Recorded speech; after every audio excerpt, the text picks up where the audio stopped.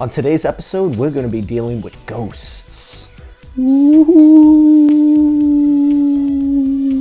I'm a ghost from beyond the grave. Coming to teach you Photoshop. Yeah.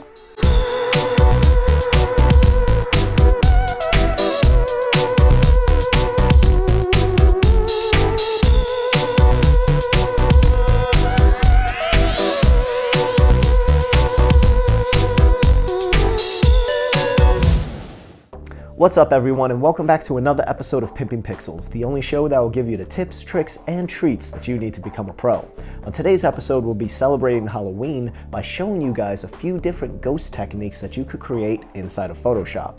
A few of those that we'll be taking a look at are how to actually turn your image into a ghost, how you could create a digital type of ghost effect, kind of like from the movie The Ring, and also we'll be showing you how you could create a ghost on a TV screen to make one of those ghost caught on camera type of photos. Now, there's a lot of stuff to go over, so let's just jump right into it.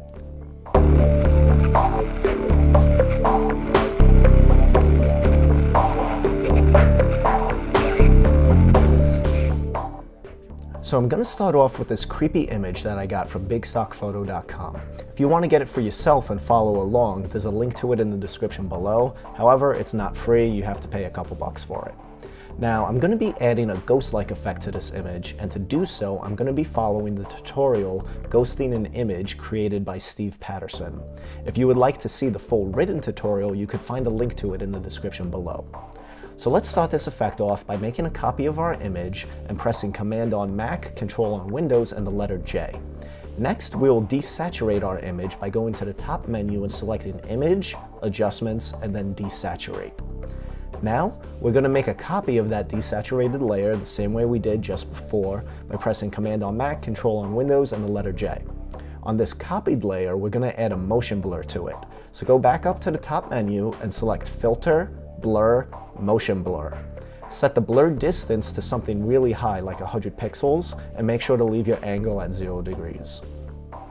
On this blurred layer, we'll now add a layer mask to it by selecting the layer and then by clicking on the Add Layer Mask icon at the bottom of the Layers panel.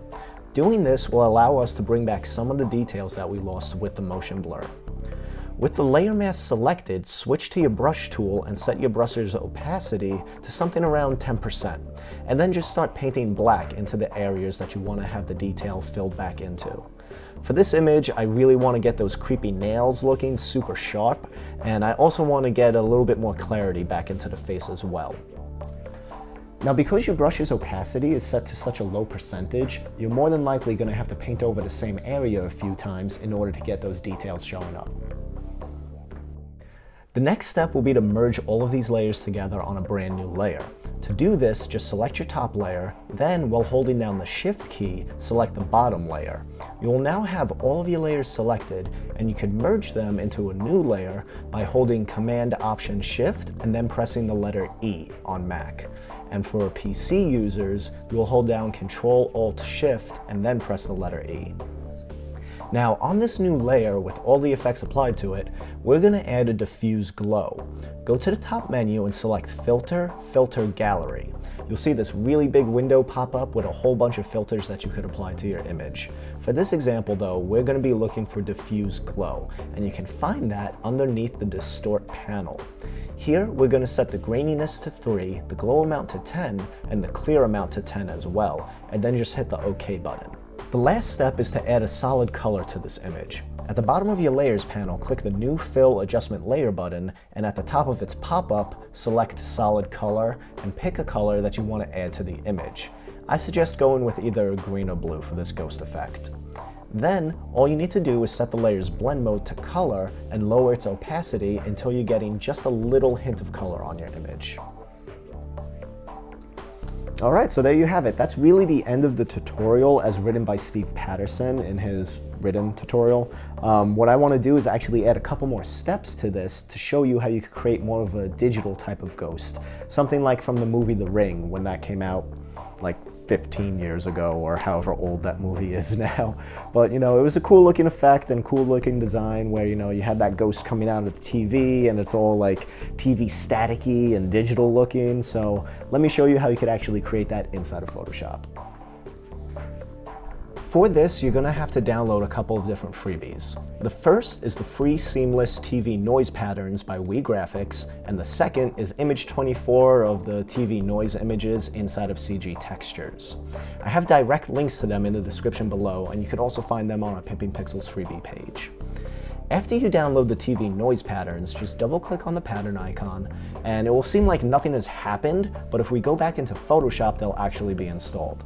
We're going to apply one of these patterns to the solid fill color layer that we just made before. So right click on that layer name and select blending options. In here, click pattern overlay and then click the pattern image and scroll down to the very bottom. You should see all of those new patterns added at the end. And in case you don't see them, just take a look at our older episode, Photoshop Extensions, and you'll see how you can manually install the patterns inside of Photoshop.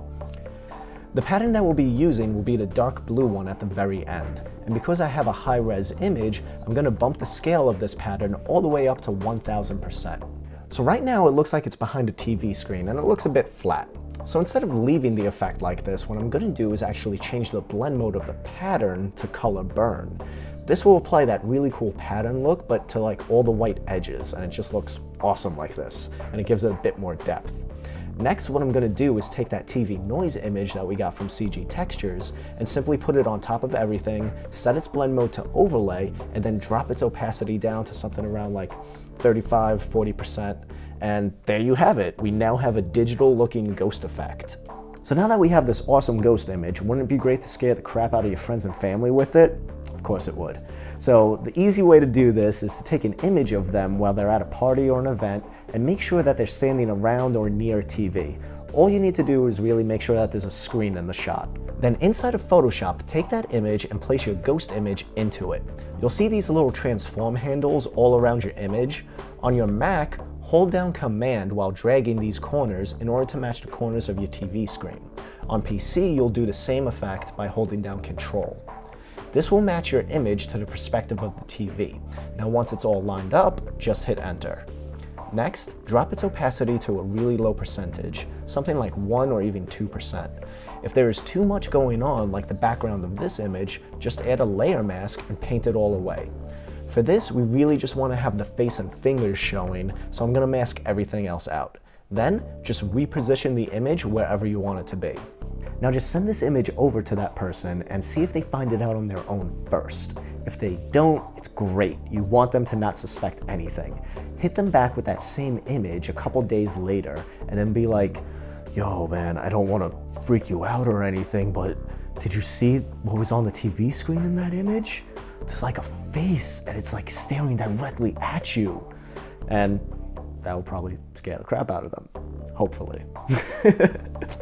Now it's a really cheap trick, but if the person you're doing this to really believes in this type of stuff, then it definitely has the potential to like really freak them out. Now, one major tip to keep in mind when doing this prank is when you take the photo, bump your ISO up to its highest setting because you don't want to take a really good crystal clear photo. You want to make your photo as grainy and as bad looking as possible. And doing this will actually make your image more questionable. They won't be able to tell that it's fake right away because the image quality just isn't there. So that'll do it for today's paranormal episode of Pimping Pixels.